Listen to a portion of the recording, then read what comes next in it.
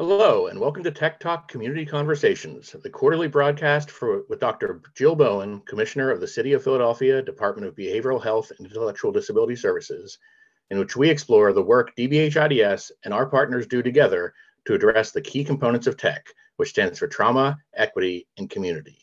So now let's learn about TEC. Dr. Bowen?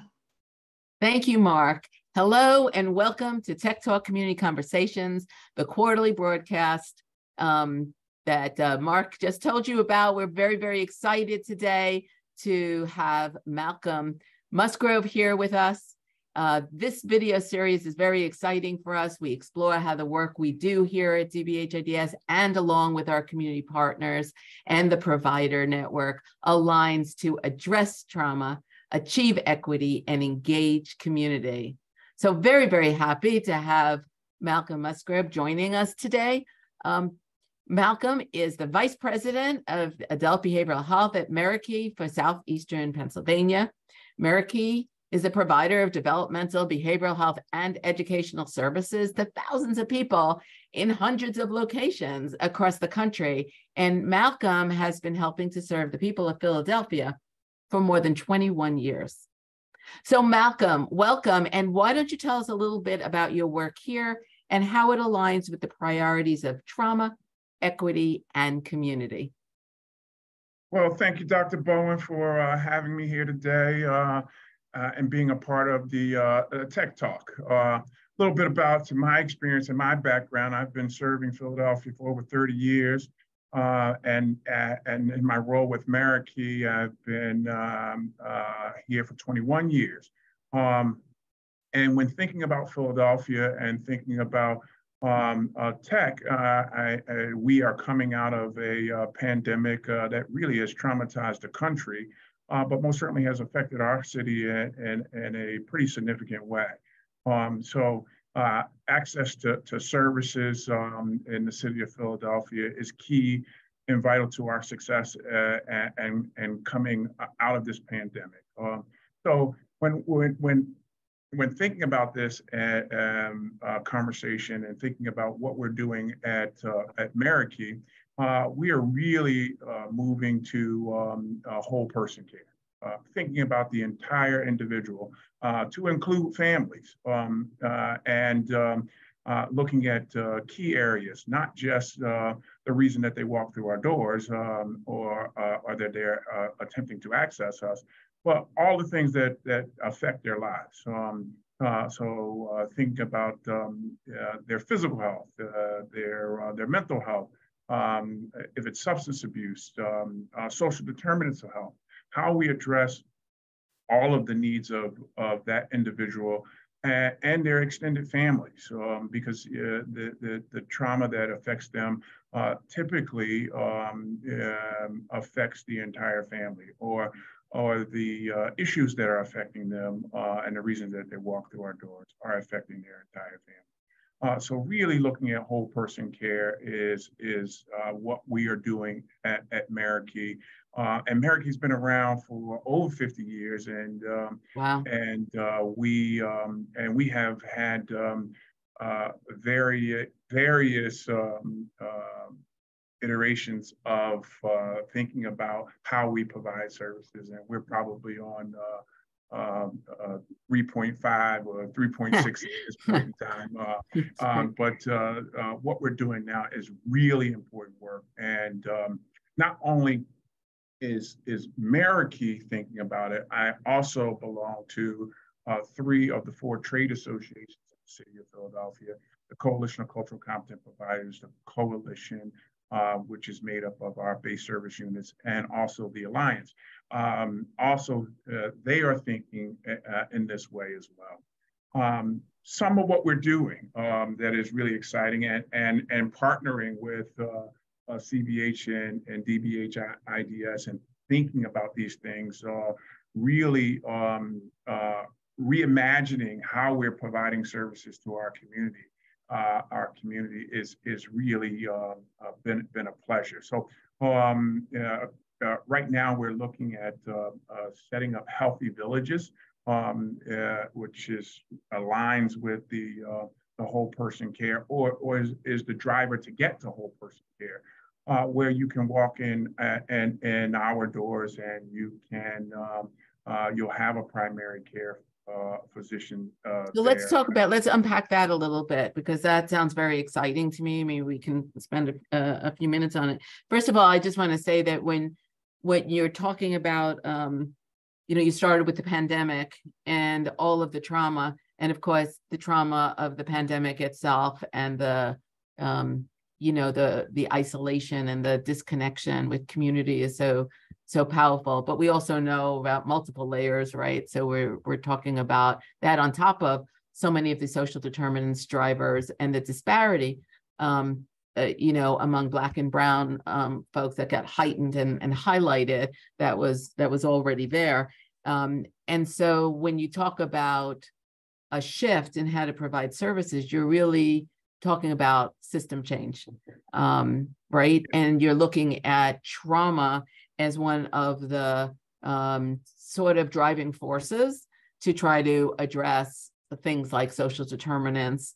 Um, and the idea of whole person health is so absolutely essential now if you're going to be um, you know, if you look at TEC in terms of trauma, equity, and community, you know, you're really putting your arms around it. So the Healthy Villages, which is, I, I think, um, sounds very, very interesting, would be really great, I think, for everybody to hear more about. And you are beginning to say, okay, this is how it works from a um, person that you're serving perspective. It'd be, be great for us, I think, to understand um, what you're attempting to do there and how how much of a service change this this actually is.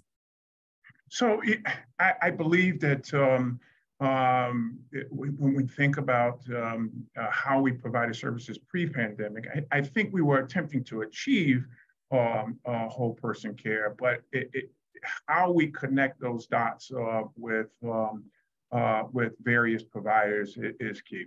So when I talk when I when I said healthy village, healthy village is really one-stop shop uh, where you have the ability to come uh, to a, um, a, um, a clinic uh, and you can see a primary care physician, you can see a mental health professional, uh, you can receive substance abuse services. Um, we'll address housing, we can address food insecurities, um, and, um, and, and also a job readiness vocational program. Uh, all of that under one roof where you can move from levels of care or um, uh, different service types uh, with very warm handoffs um, that we are no longer making referrals and saying, uh, hey, go across town and, um, and uh, you can see um, um, X provider for this service. Uh, service. We are under one roof we walk you from one level of care to the next level of care, and then we follow up on that level of care to make sure that you are receiving those services. Um, not all of them will be under the same roof, but they all will be in the same community um, and, um, and, and partnering with those uh, um, agencies in a, in a uh, more, more substantial way, a more committed way um, almost uh, um, um, uh, creating uh, interdisciplinary team of providers that are at the table serving an individual and a family's needs. So let's talk about this for a minute. Again, this is there's a lot that you said in there that sounds really interesting um, to me, and I imagine to to others. Um, the idea of co-locating or warm handoff of primary care, mental health, substance use um, has been around. I like the idea of um, very warm handoff. So I really want to understand that. The idea of pulling in things like housing, food insecurity, and job readiness, that really hasn't been done or done really well. Um, and, uh, you know, that first of all, by elevating that um, to a important part of the, you know, wellness of the individuals, um, uh, is just uh, so is so important. There is no um, we have come to a place in this field where we know that um, people can't successfully reach behavioral health or wellness if the social determinants, the drivers, the poverty, the housing insecurity, the food insecurity um, is is just um, pulling on them in such negative ways. So the if you don't facilitate success, um, you just won't you won't reach it, right? So I don't know what our expectations are if somebody is struggling um, with mental health or substances, um, and they they end up getting treatment and then go back out into poverty or homelessness. What are the expectations that they will continue to maintain health or wellness? Who who isn't sort of traumatized by those kinds of um, experiences. So I really like this idea um, of integrating the way you are these social determinants. Um, I'm very curious about this very warm handoff and the follow up that goes, or a very good, a very warm handoff would require follow up, right? Otherwise, it's not really a, a good handoff, right? To know what has happened on the other end of you making um, a really good, solid, helpful um, referral. But that follow up piece is so critical because we lose a lot of folks along these paths um, as they are connecting um, to sort of adjacent type services. So, so I, I really think that the, the, the, the mindset has to be um, uh, this is my patient, this is my consumer. Uh, once I make the referral, um, you you still are, are belong to me, um, and and I belong to you until uh, we feel that you uh, uh, together have have received uh, the, the the kind of success that we are um, attempting to um, uh, to um, go on this journey with you. So um, making that referral doesn't end it. It, it, once I've made a connection with you, I have to help you make the connection to the other services that you need. Uh, our belief is it, it, it, it that it, it, it, it, takes a lot of courage to walk through our doors. Um, and once you walk through our doors, uh, we have to help you get into other doors. Um, and, um, and it can't just be um, uh, making a phone call and, um, for the referral. It has to be, we will go with you to the referral. Uh, and, um, and, and we will follow up with the referral source to make sure that they have, um, they've, they, that they have scheduled you or they have contacted you or if they've lost contact with you, uh, how I can assist uh, with uh, um, uh, re-engaging you in that level of care. Um, so, uh, so how it is really a team this? approach. Excuse me?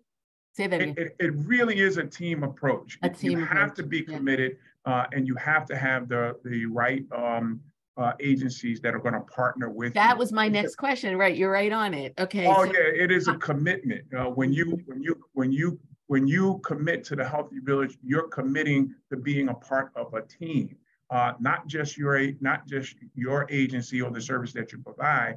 You are part of a team, um, and um, and and that team also has an obligation to meet and, and discuss and talk um, uh, about um, uh, our consumers or our patients. Um, um and, uh, and once you commit to that team, um, uh, you are part of that village. You are part of uh, ensuring that uh, we are um, providing holistic, whole person care to this individual so this and the family. So okay, let's we'll talk about. And I think the family is key. Yeah.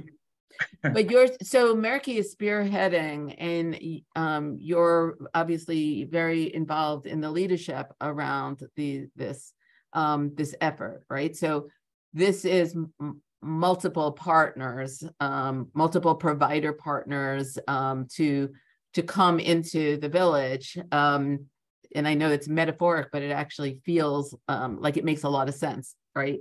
Um, yeah. you're you're putting a circle around these these services so that everybody together is working again whole whole person health and so you're making these connections and so the the different providers whether it's primary care um, providers or housing um, providers or job readiness uh, providers um, um, or support around food insecurity are all joining this yes village.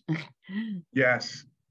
So, so can you say a little bit about how you're doing it and and what is your time frame for sort of scaling something like this up? So uh, our uh, our first village that we're looking uh, to uh, to get off the ground is in the city of Philadelphia, and it'll be at 27 East Mount Airy Avenue, um, which is the northwest section of the city of Philadelphia. Um, and uh, there uh, we will be opening our first FQHC, um, which will provide the um, the um, primary care. Um, we already partner with um, uh, a job readiness training program um, and, um, and, and also um, um, uh, healthy uh, food options and and uh, addressing the food insecurities. Um, yeah, we, we are, we're already doing that. We are looking for partners around uh, housing um, uh, for that location. Um, and uh, we provide the mental health and the uh, substance abuse uh, also at that location. And our substance abuse is, is not on site, won't be on site, but it's only maybe a mile away, but they are partnering with us as well.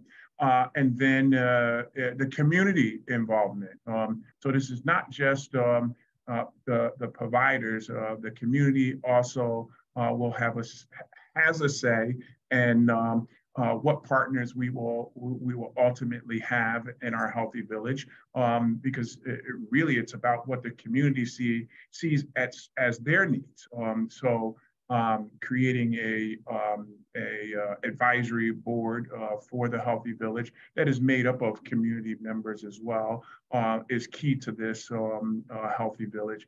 Uh, but uh, this is this is something that we see as um, a way of um, attempting to break down some of the the um, the barriers to